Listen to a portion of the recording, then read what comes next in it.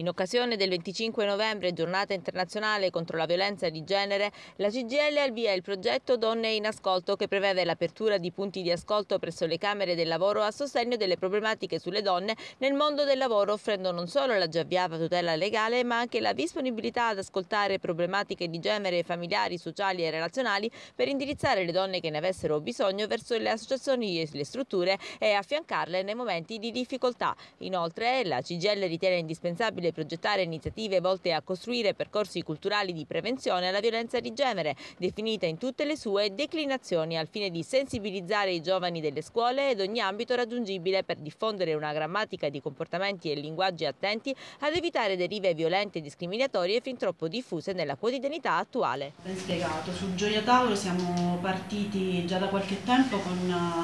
eh, l'associazione Quadrato Rosa, un'associazione rivolta appunto alle donne, soggetti vulnerabili della, della, società che spesso con difficoltà riescono a raccontare quelle che sono le vicende che vivono eh, anche all'interno dell'ambito familiare, non solo lavorativo. Quindi sportelli punto d'ascolto, insomma un, ehm, uno spazio privilegiato per tutte coloro che eh, con difficoltà riescono magari anche a rivolgersi ai eh, centri ehm, antiviolenza riconosciuti, eh, ma che venendo da noi per un semplice estratto contributivo, comunque per un altro tipo di, eh, qualsiasi altro tipo di prestazione, riescono a trovare all'interno della struttura, quindi della Camera del Lavoro, eh, la psicologa, comunque tutte le figure legale eh, o, o quantomeno tutte le figure eh, in grado di poterle accogliere rispetto a queste difficoltà aprire diversi sportelli eh, donna eh, su tutta la Calabria. Ehm, tra, queste, tra, questi sportelli la, una delle prossime aperture eh, dovrebbe essere questa dello sportello sulla città di, di Catanzaro ehm, come sportello inteso come sportello eh, legato alla eh, CGL Area Vasta. Ehm, l'importanza di questo sportello è eh, non soltanto il sostegno psicologico delle donne, ma anche una eh, possibilità di rivolgersi a noi per i problemi che hanno anche sul posto di lavoro, perché assistiamo ogni giorno e purtroppo oh, spesso per uh, problemi personali non vengono a denunciare il tutto, a serie discriminazioni sul posto di lavoro, soprattutto quando si tratta di lavoratrici madri. Eh, in questi casi eh, vengono completamente escluse dalla possibilità di avere anche una carriera all'interno eh, del posto di lavoro. Per testimoniare non una semplice iniziativa ma una giornata che come si diceva va eh, prorogata nell'arco di tutti e 365 giorni all'anno e lo vorremmo fare eh, non solo con le competenze specifiche eh, ma anche riferendoci alla, ad alcune inadempienze contrattuali. Eh, prima veniva detto di come vengono lese le tutele delle lavoratrici madre,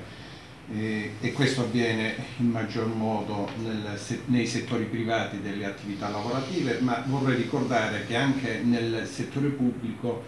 eh, molte volte eh, non solo il problema eh, delle carriere, della professionalità, ma anche eh, tutte le questioni che attengono eh, ordinarietà contrattuale, penso ad esempio ai comitati delle pari opportunità che hanno difficoltà a nascere,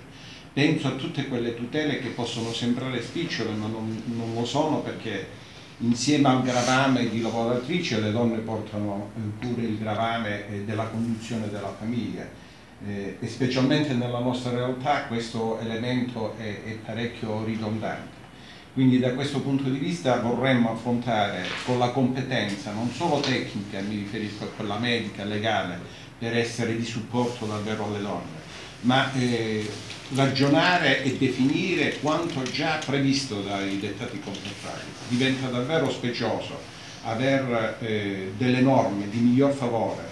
di giusto miglior favore rispetto alle donne eh, che vengono sancite appunto dai contratti nazionali e dopo non averle applicate. Quindi insieme con quella che è la più spicciola tutela contrattuale noi ci impegneremo, ci impegniamo, siamo impegnati in tutti i nostri comprensori e come CGL Calabria a ragionare su quelle che sono le questioni di supporto